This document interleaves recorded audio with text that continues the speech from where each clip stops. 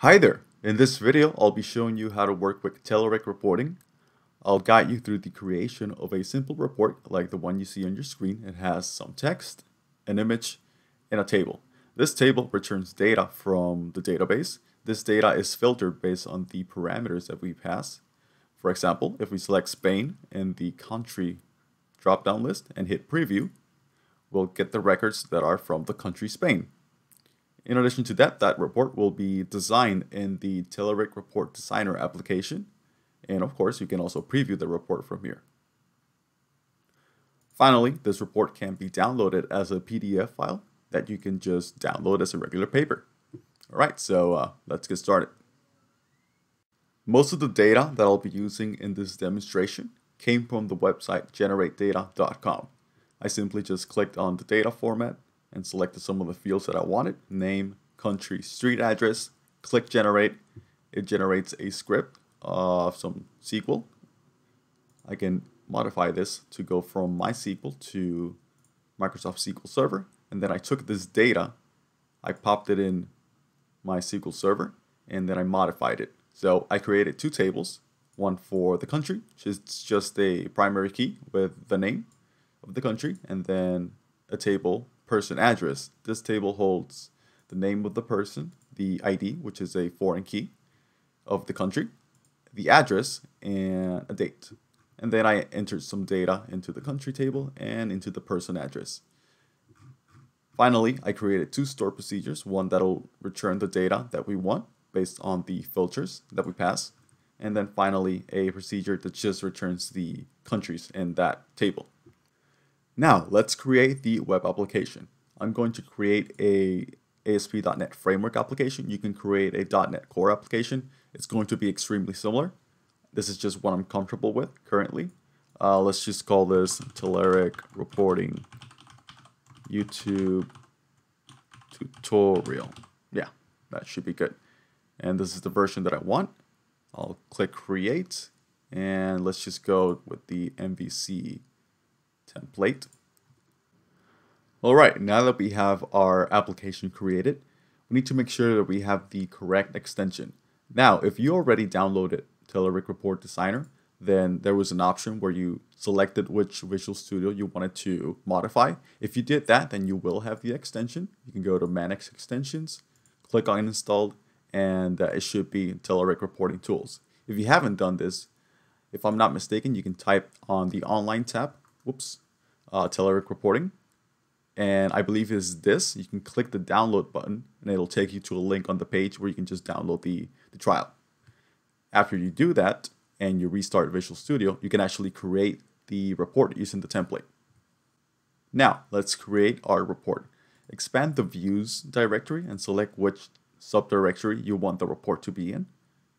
Click add, new item, wait for the templates to load, make sure you select web and then search for Telerik. I'll be choosing the Telerik MVC report viewer. This creates a CS HTML file, which I'll be calling YouTube tutorial. Click on add. This wizard will come up. Click on uh, create new REST service. Next. I'll leave the sample report definition. Next. I will enable accessibility and then I'll finish. This wizard, once it's done processing, it'll create the CSHTML file. It'll create a reports folder with the TRDP file, and it also will create a controller called reports controller. Alright, once the files have been created, you'll get these two tabs. You can close this log tab. We can see that we now have a CS HTML file called YouTube tutorials. This is a complete HTML file with some styling, some scripts, and the Telerik reporting report viewer control. This control points to the sample report TRDP file, which was created here. It'll create a new directory and it'll create a TDRP file. This is the file that will be open in Telerik Report Designer. In addition to that, a controller was created called Reports Controller. We can open it and take a quick look at it. All right, so now that we have these things created, let's go to our home controller and create the route.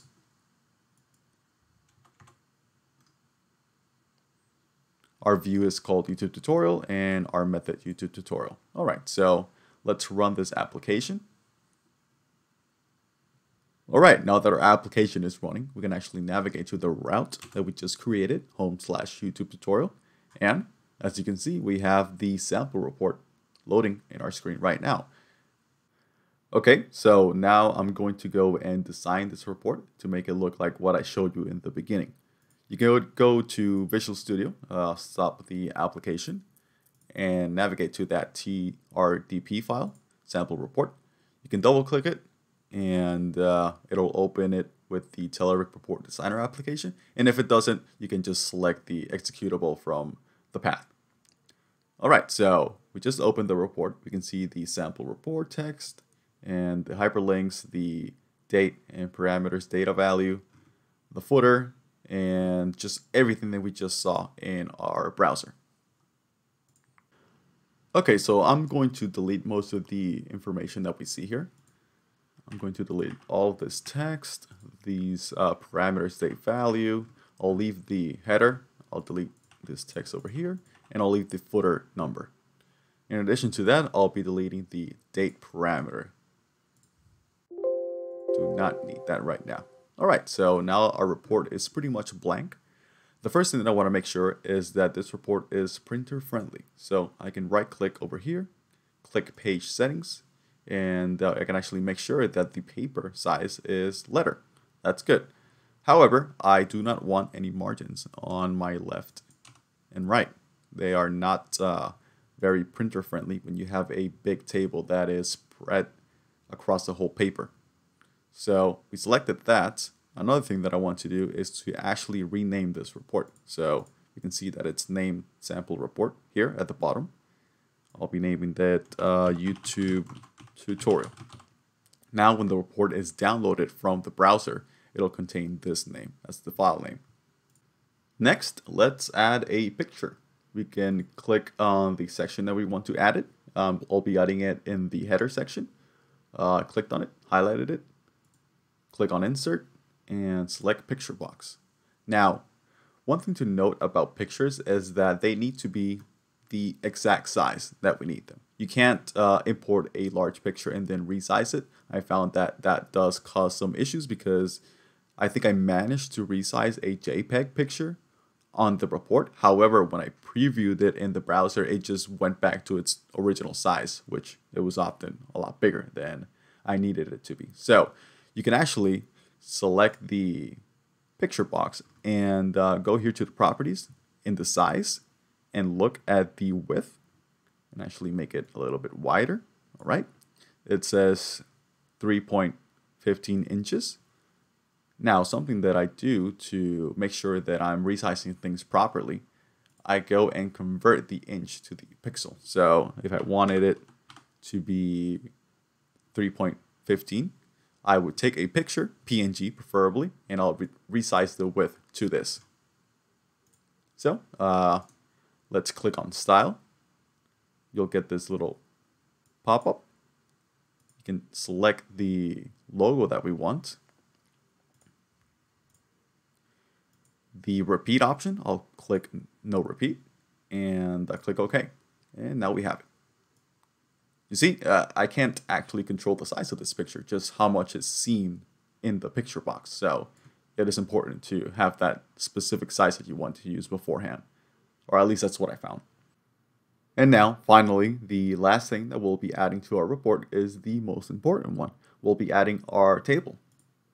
So we can select the section that we want to add into, go to the Insert tab and click on Table, and select Table Wizard. Here, we need to create a data source that we can pull data from. So let's click on the new data source, select SQL data source. I'll be naming this get person address. Click OK. And now we have to add the information for our database. Click on build new data connection and enter the connection string. Now, in your case, you'll probably have a username and a password. Since I'm doing this locally in this computer, I don't need to enter this information. So I can just remove this and leave it as this. All right, we can click on next. It, it is important to embed the connection into the report definition. If you don't do this, you'll run into some problems when you preview it in your browser. Eh, you'll probably get an error. So I found that it's always good to have it embedded. So click next, and now let's select the, the, the store procedure. So I'll be using get person address. Click next again. And we have uh, the four parameters that we specified in our store procedure. If we go back to our SQL script, we can see that we have those four parameters right here. All right, so our first parameter is probably the most difficult one. So let's select a new report parameter. We want to allow null values and we want this to be visible. If you don't mark this as true, then the report will run, but uh, you won't be able to enter your parameters. So make sure you have this on true, especially if it's a required field. And as for the text, we can just rename this to country. Now we can click on the available values section and uh, on the data source, we need to add a data source for these values that will be an option for this field. So we need to add a new data source again. Click on SQL data source. Uh, let's call this countries. Uh, get. And then we run through the same uh, procedure again. So enter your connection string, select embedded, click on next, uh, select our store procedure, get countries, click on next. We can actually execute the query and make sure that it is working, which it is. We can see the, the uh, countries right here, and then we click on finish. All right, so we have our data source. We need to add the display member. This is the value that will be seen uh, from the user's perspective. We need to select uh, the field name, click on OK, and then for value member, this is the value that the system will accept. And it'll be the primary key, country ID. Click on OK, and that, that should be it. And then the rest of the parameters are pretty simple. Again, uh, new report parameter, make sure that we allow nulls, make sure that it's a visible parameter, and uh, we can change the name.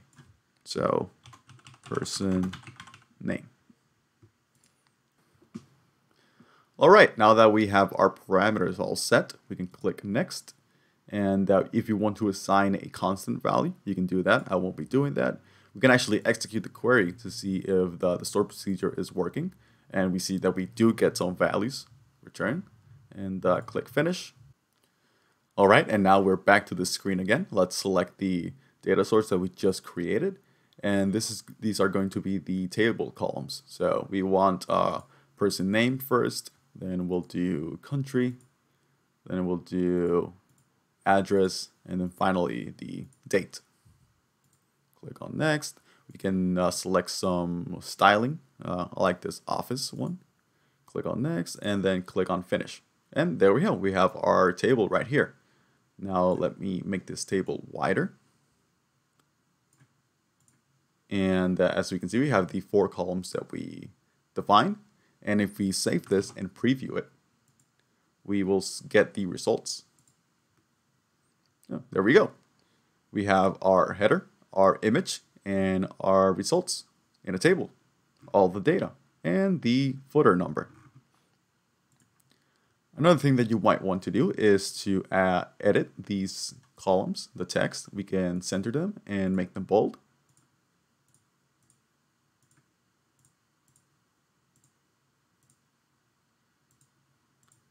And in addition to that, another thing that I like to do to tables is to go to the properties here in the bottom right.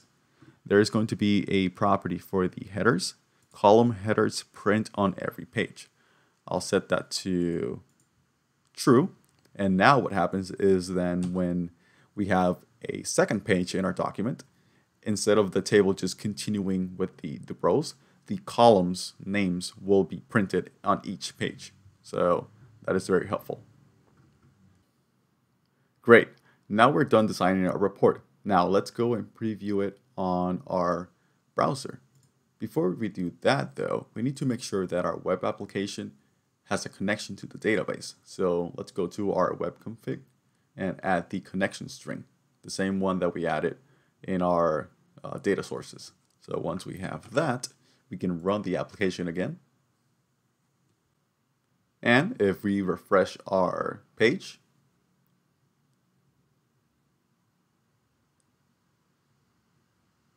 there we go. We have our report. We have our header, our picture, and the table. On the right side, we see that we have the country uh, selection, the person name, the date, and the end. So let's select Spain. Let's filter, and we have our results for Spain. And uh, we can actually go ahead and search for something else. Let's search for all of the Camerons.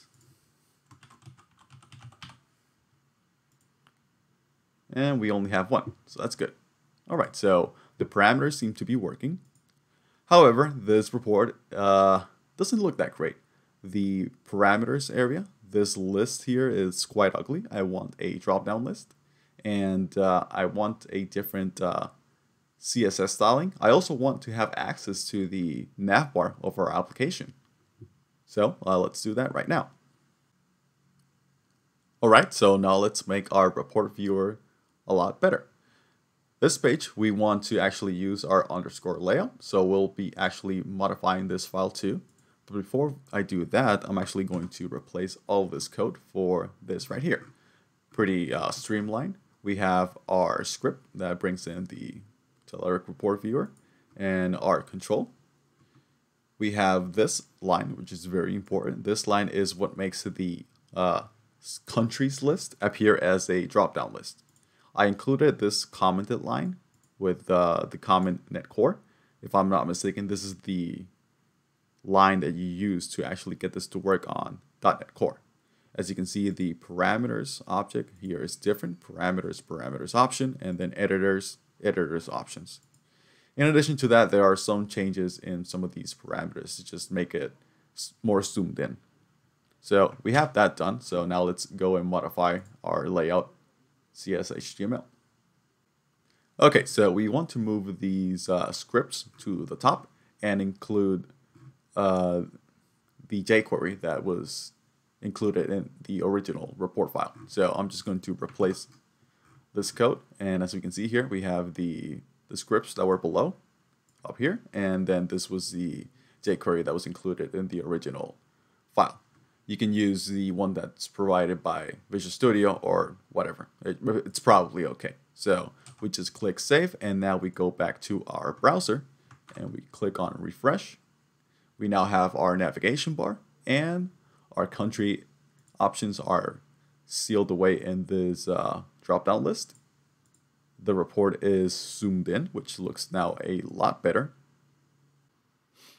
Now, uh, something that we can also do is download this report as a PDF file. So we can click on the download icon, select uh, Adobe Acrobat PDF file, and uh, just select the file.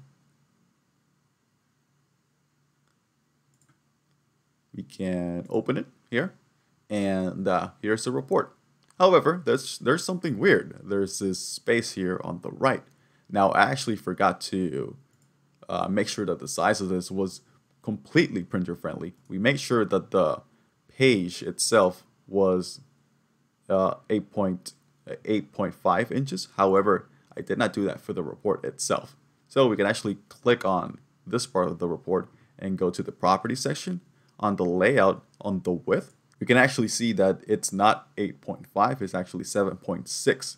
So let me modify this, 8.5 the report gets wider and uh, can actually make this table wider.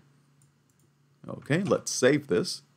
Let's um, refresh our report viewer on the browser. We can download the file again.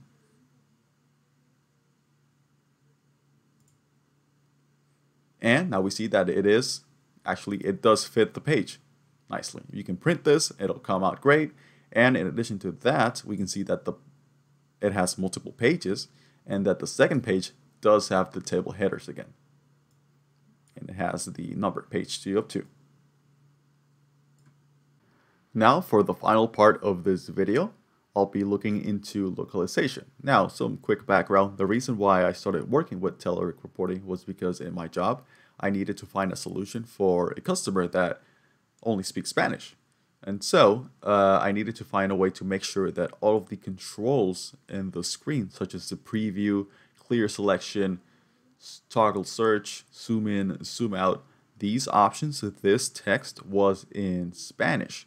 So I ended up finding some documentation in the Telerik's report, uh, sorry, the Telerik's documentation pages.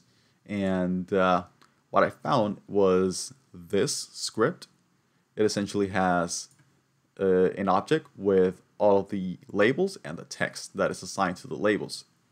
So, as you can see here on the preview button, I changed a preview to previsualizar and uh, parameter editor select none to borrar la selección. So if we save this and uh, we uncomment this script and we go back to our browser and refresh, of course we have to run the application. Okay, that's my bad. Okay, now that our application is running again, we can actually see that our preview button changed from preview to previsualizar. And uh, our clear selection is borrar la selección. So you can actually edit this file, this JavaScript file, to make sure that every single one of these labels is in Spanish. However, if your language that you want to support is not Spanish, you might want to name your file a different way. Now, I will include this link in the README file for this project in GitHub, but this uh, link in the Telerik documentation basically inc includes the code that I just pasted in on the JavaScript file, but it also includes some instructions on how to name the file. So in my case, it was Spanish, but in your case, it might be French, Belgium, and you might need to name your file like this. Now, before the video ends, just some things to keep in mind. Remember that when adding some data sources, you need to make sure that the connection string is embedded into the report. So make sure that this option is always checked. If not, you'll get some compilation error or error with the report viewer when it's running. Another thing that you want to make sure is that uh, the picture that you're using is uh, of the actual size that you're, well, importing it in. So if you manage to find a way to resize this in uh, the Telerik report designer, you might find that in the browser preview, the image size is not the same as you set it here. So make sure that it's the exact size. Another thing is to remember that the parameters by default have the visible value set to false, so make sure that it is true. And then finally, something to keep in mind that is very important, the DLLs for the Telerik report viewer, these guys, it's like like five of them, these are stored in your bin folder initially, so you might want to move them to another folder because if you rebuild this application, these guys are just going to get deleted. So uh, that is it for this tutorial. Hopefully it wasn't completely awful. Thank you for watching, and I hope that you guys got some value out of this. Goodbye.